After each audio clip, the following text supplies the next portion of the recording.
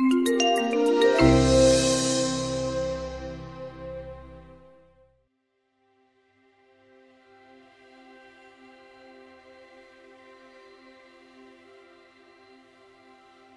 the last ocean video, we plunged beneath the waves to uncover the incredible diversity of life in our ocean.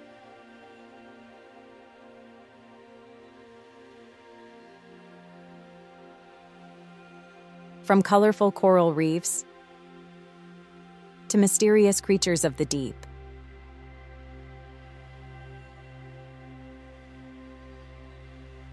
From icy polar seas to vast open waters.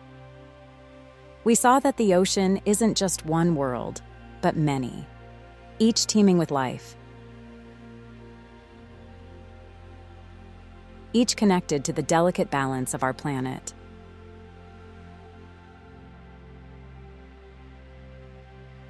In this video, we'll explore the significance and importance of the ocean to people.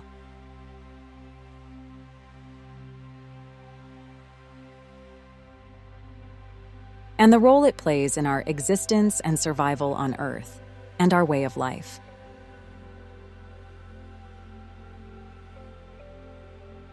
The ocean doesn't just give us beautiful beaches and crashing waves, it helps us breathe.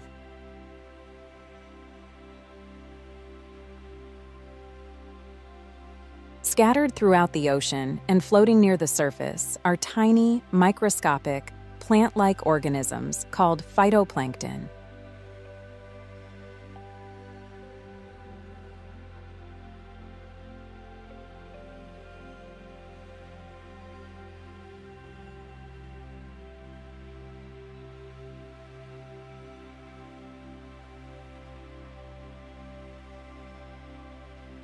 Using sunlight to produce energy through photosynthesis, just as plants on land do, they take in carbon dioxide and water to produce food in the form of glucose and release oxygen in the process.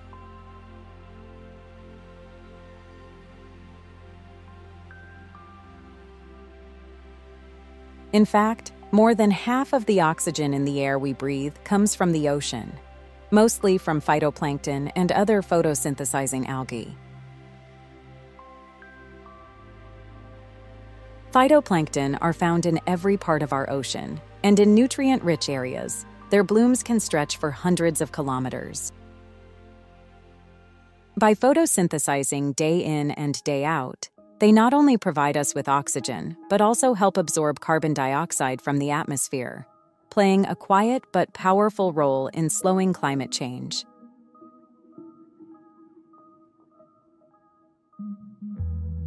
But phytoplankton aren't just important for the air.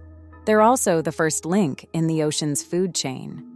Tiny animals like krill and small fish feed on them.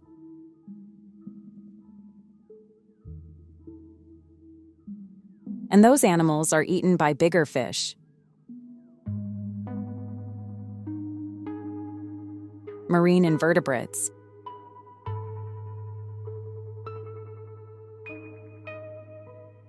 and marine mammals like dolphins, sea lions, and whales.